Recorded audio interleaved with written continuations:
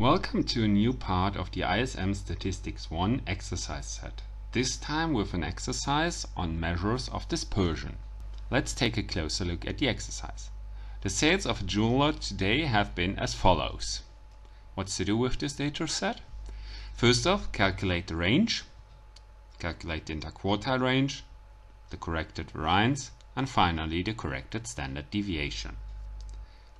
Okay, however, before we start with this, we first take the data set and order this in an ascending fashion. We'll see why we do this in a later moment. So here, if we order this, we start with the smallest, that's the 70, and then work our way upwards in ever increasing order. Always, if we copy one value into the new data set, we just erase this from the old one to assure that every value is considered only once. So here we get this way our ordered data set. The advantage of this ordered data set we will see directly if we start with the first part of our exercise because in the first part we are asked to calculate the range. The range in this context is defined as the difference between the maximum and the minimum. Well, maximum in this is the largest value, minimum the smallest value. As we ordered this in ascending fashion, maximum is the last value, minimum is the first value.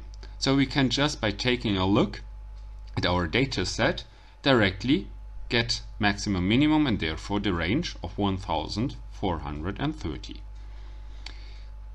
One additional thought on the range. If ever you heard about box plots, the range, which we just calculated, describes the size of the whole box plot, so from upper whisker to lower whisker. This in mind, we can go to a second part, we go to a second part of our exercise, calculating the interquartile range. Here, as a note linking to the aforementioned comment on the range, Whereas the range is the size of the whole box plot, the interquartile range is the size of the box of the box plot, so the height of the box.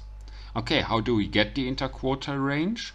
We need the third and the first quartile, or in other words, the 75 percentile and the 25 percentile. How to calculate them? Well, we multiply the respective percentages with the number of observations in our data set and then round this up to the next highest integer. And this gives us the position in the data set where we can find the respective percentile or um, quartile. Here in this case, in the first we multiply 0.75 with 10 and 0.25 with 10 giving us 7.5 uh, and 2.5. If we round this up to the next integer, we get 8 and 3.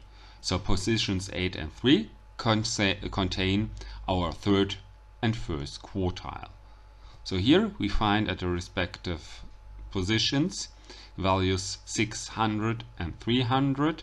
So our interquartile range is 300.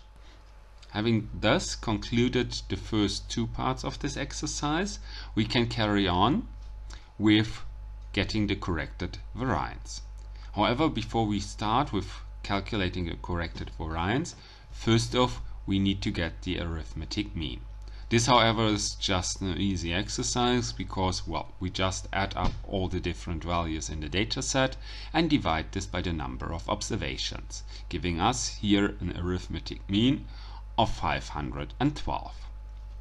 We can then use this arithmetic mean in this formula for the corrected variance. Might look complex at first glance, however it isn't, because what we basically do is we take all the data points, square them, add them up, and then we just divide them by the number of observations minus 1, and from all of this we subtract the squared mean of the squared arithmetic mean which is also slightly changed by multiplying it with number of observations by number of observations minus 1. So here in the end we get if we insert our values all the values we had of the data set in squared form summed up in the end it's divided by 9 because 9 it's we have 10 observations so 10 minus 1 gives 9 then minus 10 by 9 that's the correction factor times the arithmetic mean to the power of 2 if we enter the whole expression into our calculator this will result in a value of 153,995.5556. This is our corrected variance. Haven't gotten the corrected variance, part D, the corrected standard deviation is relatively easy. We just consider the corrected variance from part C and take the square root. Square root of this value gives us here a standard deviation corrected standard deviation of 392.4227. This then directly concludes this part and this exercise. And I hope all of you enjoyed listening to this exercise and learned at least some of something from it.